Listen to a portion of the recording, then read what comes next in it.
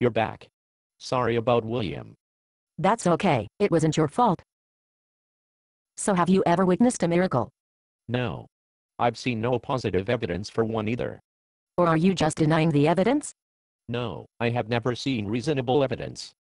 Have you ever been in a church that was full of believers who saw a miracle? No.